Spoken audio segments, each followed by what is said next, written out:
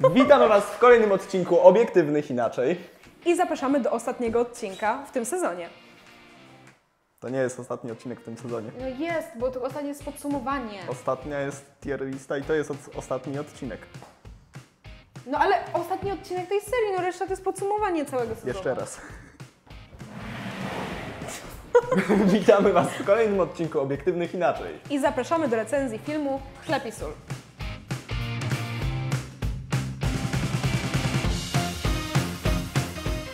Nie, tak na stałe. Wiesz, na, na wakacje przyjechałem. Na wakacje, a to elegancko. Ty, a to co jest na chacie, nie? Tak.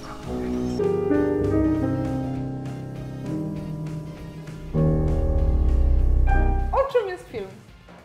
E, Film, moja droga, jest o kilku rzeczach tak naprawdę. E, Po pierwsze myślę, że o młodym człowieku, który gdzieś wyjechał do dużego miasta i teraz wraca w e, swoje mało, małomiasteczkowe Mój małomiasteczkowy hit środowisko, a po drugie też o jakiejś takiej przemocy, agresji wśród e, młodzieży właśnie mieszkającej w takich e, niedużych miejscowościach. Ale to jest właśnie bardzo naokoło, a dalej nie opowiadamy o filmie, jak nam się to czasem zdarza. To znaczy konkretnie. Tak, Jest e, dwójka braci, którzy mieszkają w małej miejscowości, natomiast jeden z nich wyjeżdża do dużego miasta, do Akademii Muzycznej, dostaje stypendium e, i na wakacje wraca do swojego domu. Natomiast nie do końca czuje, że to już jest jego dom. Ja myślę, że mm, jest to film o tym, jak środowisko nas kształtuje, to jakimi ludźmi się otaczamy. E, o tym, że jeżeli zmienimy swoją perspektywę, to zazwyczaj zmienia się cały nasz światopogląd. Że przez to, że on wyjechał, e, wyrwał się z tej grupy znajomych, ze swojego takiego otoczenia, w którym dorastał, stał się innym człowiekiem. Jego poglądy stały się inne. Tak, bo y, to warto zauważyć, że na początku, kiedy on tam przyjeżdża, to w tej jego postawie jest jakiś taki dystans, trochę poczucie wyższości, mam wrażenie. A potem i tak zaczyna się zachowywać właśnie tak, jak mówisz, tak jak to środowisko. No bo właśnie główny jest. bohater jest cały czas z boku. On nie jest w centrum uwagi, tylko on jest cały czas obserwatorem. E, analizuje wszystko, co się dzieje dookoła i można to odebrać, że to jest wyższość z jego strony. Ale ja przez cały czas film, e, przez cały film jednak odbierałam, że mm, jest to chęć wpasowania się do środowiska, do którego on jednak nie należy.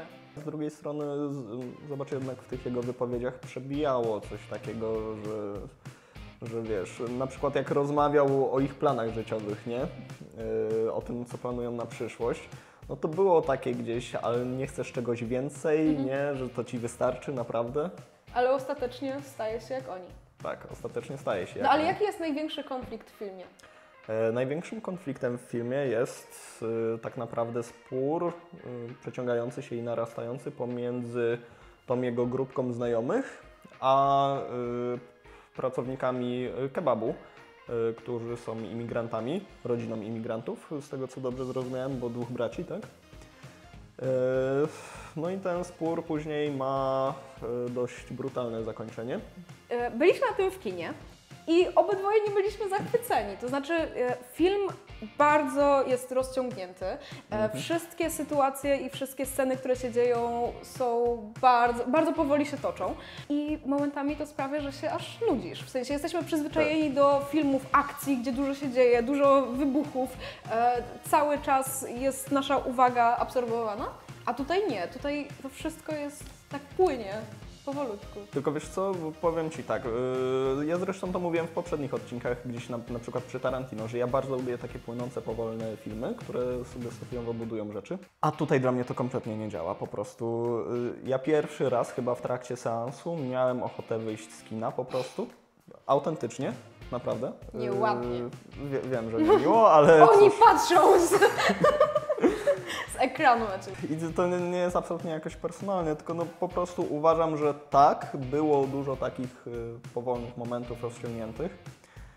Y, myślę, że to jest gdzieś związane z faktem, że był to debiut tak naprawdę reżyserski. Y, ten reżyser, który tutaj działał przy tym filmie, on wcześniej zajmował się filmami krótkometrażowymi i szczerze powiedziawszy, to ja dokładnie tą historię widziałbym jako takie 25 minut To możesz sobie to pociąć. Tak, sam sobie będę ciął film, pewnie. No ale jednak oddaje to dla mnie taki klimat wakacji, gdzie właśnie w małym miasteczku wszystko toczy się powoli, że nie ma napiętych, że oni mają konkretną godzinę wyznaczoną, tylko jadą sobie nad jeziorko, siedzą tam, wiesz, spędzają powoli czas.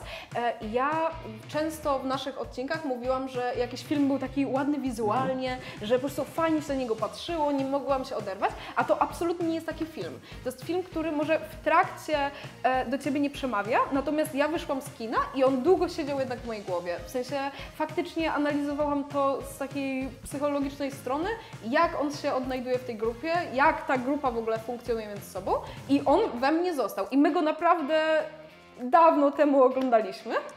A i tak myślę, że całkiem sporo pamiętamy e, i sporo takich przesłań w nas zostało. Znaczy ja go pamiętam, jakby pamiętamy rzeczy, które wzbudzają w nas skrajne emocje. U mnie to jednak były emocje negatywne, Tak. niestety. Yy, a co miałem powiedzieć jeszcze i o czym zapomniałem w sumie, że mm, w tym filmie było dużo takich rozciągniętych scen, które moim zdaniem były kompletnie niepotrzebne i można było je wyrzucić z tego filmu, nic by się nie zmieniło. I, i to jest mój największy zarzut. Zbudować taki klimat. Właśnie Ale bu- życia. wiesz co, ale budowanie klimatem, klimatu, budowanie klimatu, ale no, słuchaj, jeżeli film, ja rozumiem, że może być z jakimś przesłaniem, może być film Nawet bardziej... No, fajnie jakby był. Tak, tak. Może być, Tak. Akceptujemy taką Że, możliwość. że może to być trochę inne kino, mniej właśnie w jakąś taką akcję, tylko powolniejsze, ale w dalszym ciągu moim zdaniem film powinien być w stanie widza zainteresować w trakcie seansu również. Czy nie słyszałeś, jak cała sala się śmiała, jak on uczył chłopczyka grać na pianinie? Jedna scena. Ale, ale to było bardzo ciekawe, Tak. bo rzadko ludzie w kinie reagują aż tak, że... Ja nie wiem, czy ludzie aż tak się śmieją, bo to No, naprawdę może, może w wywołało Tarnowie, jakieś może tam w Tarnowie. małomiasteczkowy człowiek, tak. Natomiast e, zapytam Cię inaczej. Czy wystarczy mieć doskonały przekaz, bardzo inteligentny i mądry, Mhm. ale przekazywać go w taki sposób, że nikt Cię nie będzie chciał słuchać? No to jest to, co ja na przykład uważam o książkach, że czasem książka może e, nie być o niczym aż tak ciekawym albo ważnym, uczącym nas czegoś, natomiast jak jest napisana fajnym językiem, To, to, to, się, prostu ła- to się strony się same to, przewracają. to sam chcesz to czytać. I może tutaj też tak jest, że nawet jeżeli masz jakąś ideę do przekazania, ale ona jest przekazana w sposób, Mhm. którego nie jesteś w stanie przyjąć, to to wszystko jest nic nie warte. E, Ale, o, to dało się przyjąć, udało się jakoś. Przeżyli, zostaliśmy w kinie, nie wyszliśmy. Szanowni Państwo, przeżyłem seans, sukces. Sukces. Ale żeby nie było, że tylko narzekam, to teraz pozytyw. Y, Moim zdaniem sceny, które były zostawione aktorom, a właściwie naturszczykom, bo tutaj nie mieliśmy profesjonalnych aktorów, tylko ludzi wziętych tak, nie zajmujących się tym na co dzień.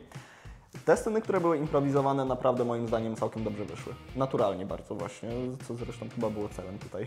To ty powiedziałeś pozytywy, to teraz moje negatywy. Słuchamy, Paweł. No to moje negatywy. Nie wiem, czy ty pamiętasz, ale dialogi były bardzo niesłyszalne. I ja się zastanawiam, czy to jest kwestia, bo czasem może być kina. Ale Nie. przeczytałam gdzieś tam w internecie opinię i faktycznie, bo wszystko e, jest utrzymane takiej konwencji, że to się dzieje, my tak obserwujemy ich z boku, właśnie to nie jest reżyserowane e, i na przykład bardzo głośno są dźwięki e, ptaków, świerkot. E, ogólnie dź- dźwię- dźwięki tła. Tak, i, i nie słychać przez to dialogów bardzo często. Nawet czytałam komentarz, że nie było polskich napisów i ktoś to oglądał z angielskimi napisami. Mhm. Jest. Polski film, żeby zrozumieć w Tak. ogóle, co tam się dzieje. To nie był hejt na taką społeczność, wiesz, Znaczy blokowisko. nie, nie, to absolutnie nie E, I był to hejt. nie było e, stwierdzenie, że patrzcie, ci ludzie nic nie robią, tylko właśnie pokazanie tej społeczności od środka, że oni w taki sposób sobie spędzają Mhm. czas, ale też pokazanie ich ograniczeń, że oni nie mają szans tam wzrastać, że oni żyją w takim swoim zam- zamkniętym światku, w swoich poglądach i oni nie są w stanie się z tego Ale- wyrwać, jeżeli nie zobaczą innej perspektywy. Ale z drugiej strony też, że wiele z tych osób no, było jednak zadowolonych gdzieś tam z tego Mhm. miejsca, w którym się znaleźli i oni nie potrzebowali, nie wiadomo, nie wiem, wyjeżdżać do Warszawy czy coś, żeby, żeby być szczęśliwymi. Tylko pytanie, na Tylko- ile to jest szczęście ze swojego życia, bo nie znasz innego stylu życia. Że może wiesz, jak wyjeżdżasz, to nagle się orientujesz, wow, świat jest inny niż myślałem. Dobra, ale szczęście to szczęście, w sensie jeżeli jesteś szczęśliwy w tym miejscu, w którym się znajdujesz, może byłbyś szczęśliwy też w innym, czemu nie, ale to nie znaczy, że nie możesz tutaj jakby tego, co już masz, zachować tak czy inaczej. No ale zawsze warto poszerzyć swoje horyzonty i wtedy wybrać, No to, to jest... To jest Jeżeli masz taką tak, ale to, to jest y, punkt widzenia osób takich jak ty czy ja, gdzie staramy się jakoś szukać Mhm. właśnie, no tak jak mówisz, poszerzać horyzonty, a To jest ta skromność, tak jak ty i ja. słuchaj, a nie? A nie? Nie zaprzeczam, No właśnie. Wróćmy do filmu. to jeżeli nie masz szansy właśnie wyrwać się z takiego środowiska, e, to nie wzrośniesz. W sensie, że jak ciekawe jest to, że zbieg okoliczności, że on akurat... A, dobra, już nie wiem. Nie, Chciałam- w sensie chciałam- o, o wzroście chciałam- może już skończmy, Dobra. nie? I, to- Ktoś nas chyba, ten fragment się chyba, wytnie. chyba koniec. Chyba tak. Nie, bo ja wiesz, zaczynam jakąś myśl, ale I ucieka słyszę, że, że Paweł Tak. nam chrumka, Też że kończymy i ja od razu... No ale co było dla Ciebie najsmutniejsze, oprócz tego, że musiałeś siedzieć w kinie? Myślę, że fakt, że tam były niepozamykane wątki w ogóle niektóre. A tak y, mówiąc już poważnie zupełnie, jeżeli chodzi o fabułę, e, no to chyba to no, zakończenie jednak mimo wszystko, gdzie jest pokazana ta właśnie brutalna rzeczywistość i, i agresja, która gdzieś w ludziach siedzi, która czasami wychodzi w taki sposób no, niekontrolowany zupełnie, nie? No to dla mnie najsmutniejsze było to, że ten człowiek wraca do domu. Do miejsca, które dom nam się wszystkim powinien kojarzyć dobrze właśnie e, z bliskimi, z tym, że oni się tam czują, my się czujemy sobą w domu, a on wraca i to nie jest jego dom. I, i to jest to, co na początku powiedziałam, że on jest zawieszony w takiej próżni w przestrzeni i on nie należy do tej Warszawy, ale nie należy już też do swojego domu. I ja myślę, że to jest e, w ogóle poczucie, które ma dużo studentów. Że wracają do domu, to już jest inna rzeczywistość, Myślę, a oni tak. też nie należą do tego miejsca, gdzie studiują. No, jest Musisz takiego, sam zacząć ale... w którymś momencie budować swoje życie, swój dom, ale jest moment, kiedy nie należysz nigdzie. Paweł, nie śpiesz się tak. Daj powiedzieć do końca. Co, co ty robisz? Kto prowadzi tutaj? Najbardziej na świecie pasuje piosenka Podsiadło małomiasteczkowe. Hmm. Małomiasteczkowa I tak, to, to jest moja polecajka. Myślę, że dużo ludzi kojarzy, ale bardzo oddaje klimat. Bo muszę teraz pomyśleć, bo za dużo rzeczy Dasz, jest. dasz, Za na, dużo rzeczy jest pod serię. dasz na czole takie, wiesz, ładujące się kółeczko. Nie, my poczekamy, mamy czas, jasne. Dobra. Tutaj nic nie jest prawdziwe. Dobrze, to polecam telefon Pawła. Jest to Secret Invasion, który masa ludzi hejtuje. Jest to serial, nie rzecz Gdzieś biorąc, tam za kamer jakieś odgłosy. jest to serial źle zrobiony. Natomiast jeżeli ktoś yy, lubi Marvela i ma jakieś nostalgiczne tam podejście, to no, jest to po prostu serial o Niku Furym. Old Man Fury, który wraca gdzieś tam z kosmosu na Ziemię, żeby rozwiązać kwestię inwazji kosmitów.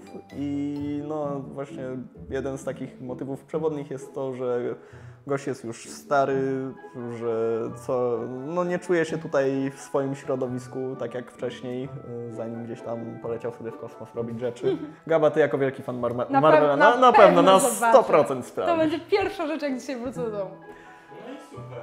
Dziękujemy Wam, słuchajcie, za poświęcony czas i zapraszamy na następny, ostatni już odcinek. Ostatni już odcinek, ranking wszystkich filmów i książek, które omawialiśmy.